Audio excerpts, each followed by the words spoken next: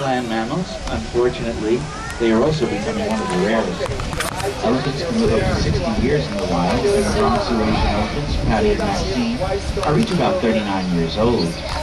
Asian elephants can weigh more than 10,000 pounds, so they have to eat a lot of vegetation. In addition to the Man, variety of this is small. vegetables, our elephants may eat up to 200 pounds of hay each day and drink 60 gallons of water. There are more than 40,000 muscles in an elephant's trunk, and it's an incredible tool.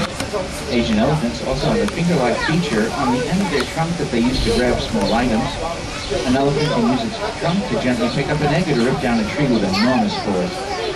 Bronx elephants get lots of personal attention, including baths and pedicures. They sweat through their feet, and they also flap their ears to cool off on hot days.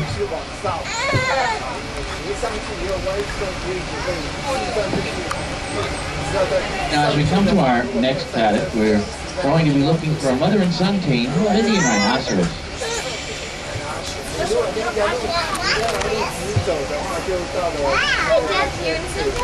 And if we look up the road, we see the son is towards the right, the mother by the rocks.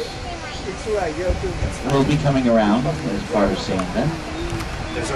Today, all rhinos are highly endangered. Less than 2,000 Indian rhinoceros survive in India and Nepal. Here at the Bronx Zoo, we care for nine endangered Indian rhinos. The Bronx Zoo has had great success with Indian rhinos. Uh, caring for this very rare animal is one thing, but breeding is a huge challenge.